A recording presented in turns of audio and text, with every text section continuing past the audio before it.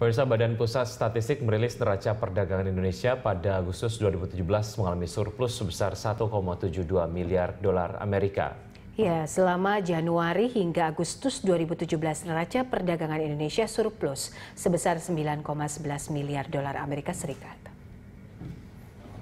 Kepala BPS Suharyanto menjelaskan surplus neraca perdagangan pada Agustus 2017 merupakan surplus bulanan terbesar sejak tahun 2012.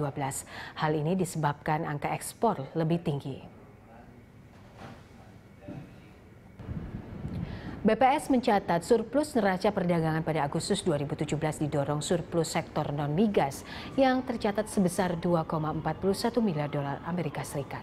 Sementara itu, neraca perdagangan sektor migas mengalami defisit sebesar 0,68 miliar dolar Amerika.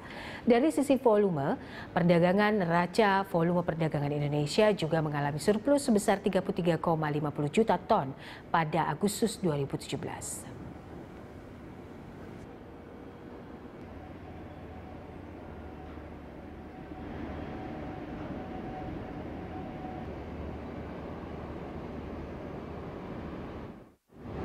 Dengan ekspor.